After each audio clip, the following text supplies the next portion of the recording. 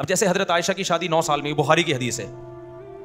जनाब प्रोफेसर गामदी साहब ने इतना बात को घुमाया है, तारीखी रिवायात और ये एक्चुअली यूँ कर करा के, अरे भाई आप वो जितनी बातें कर रहे हैं, वो एक लॉजिक आपकी अकली लॉजिक है।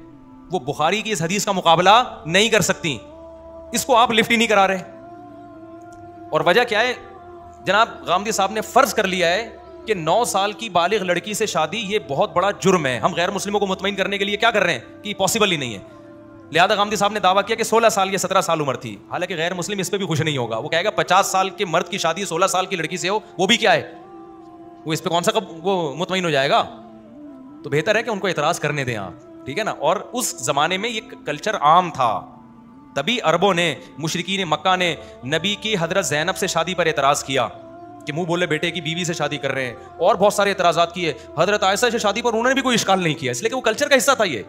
कल्चर में होता था ऐसे। समझते हो कि नहीं समझते हो? तो आजकल लोग दलाइल जब देखते हैं ना, एक आँख बंद करते हैं, दूसरी क्या कर लेते हैं? खोल लेते हैं। बस उससे देख रहे होते हैं, इधर वाले पीजे पी रहे होते हैं। मेजोरिटी जो स्कॉलर यूट्यूब पे, उनका यही हाल है। मेजोरिटी। रफुल दैन करने वाली हदीसें आ रही है, ना करने वाली जईफ जईफ जईफ जईफ और दूसरी तरफ़ भी गुलूब होता है। बाज हमारे वाले भी गाली हैं मुझे याद है, एक मुनाजरा मैंने यूट्यूब पे देखा, हमारा मुनाजिर था। उसने अहल हदीस को दलील दी और एक अच्छे बले फ़िका रावी को ज़यीफ़ करार दे दिया। मैंने कहा, ये ज़्यादती कर रहा है भाई। ठीक है ना? अवाम तो खुश हो जाएगी। अवाम कहेगी, देखो, ज़यीफ़ के हवाले दे दिए, हवाले दे दिए। हालाँकि वो हवाले तो दिए हैं, लेकिन उसके बावजूद वो रावी मुहदसिन उसको ज़यीफ़ नहीं मानते। मुहदसिन कहते हैं, जिन्होंने इसको ज़यीफ़ कहा उन्होंने ज़्यादती की है। अभी उस मुनाजिर को पता है, लेकिन अवाम को नहीं पता। लिहाजा वो हमारा वाला मुनाजिर बेवकूफ़ बना रहा है। तो वो वाले भी बनाते हैं बेवकूफ़ अहल हदीस भी बनाते हैं, हमारे वाले भी बनाते हैं, और बहुत से ऐसे हैं नहीं भी बनाते। ऐसा ना कोई मुनाजिर के आपने मुझे बेवकूफ़ कहा भाई, आपके अलावा की बात कर रहा हूँ मैं। तो आवाम को भाई बहुत मुश्किल है, इसलिए जो सही है, उन पर एतमाद आपको करना पड़ेगा। हम ये नहीं कह रहे अंधी तकलीफ़ शुरू कर दो।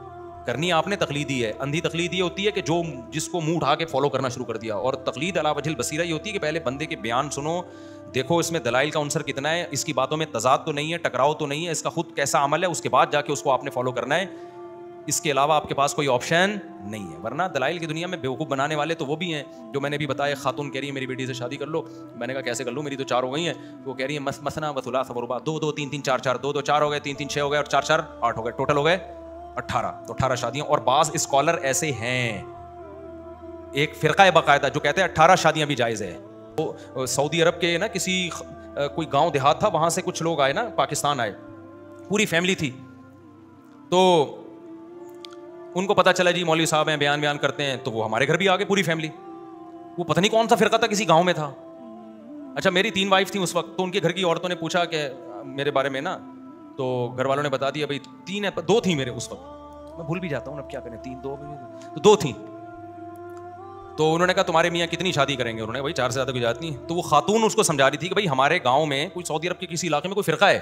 हमारे यहाँ तो सोलह सोलह सत्रह सत्रह बीवियाँ रखते हैं लोग और जायज़ है इस्लाम में। मैंने कहा ले भाई। फिर वो खातून ने पर्दा किया मैंने उनसे जाके पूछा पर्दे में। मैंने कहा ये ये कौन सा फिरका है? उन्होंने कहा नहीं ये है हमारे यहाँ करते हैं लोग। कोई गाँव है दूर दराज का, इलाका होगा देहात का। तो ऐसे भी लोग हैं दुनिया में, जो इसके कायल और किताबों में भी इसका तस्करा मिलता है। लेकिन मेरे भाई, क्यों हम उसको जायज़ नहीं समझते? उम्मत का इजमा इसके खिलाफ। हदीस में भी है कि एक शख्स की दस बीवियाँ थी, जब वो इस्लाम लाए तो आपने फरमाया चार रखो, बाकी को छोड़ दो। हदीस में भी है और इजमाई उम्मत से भी ये बात साबित है।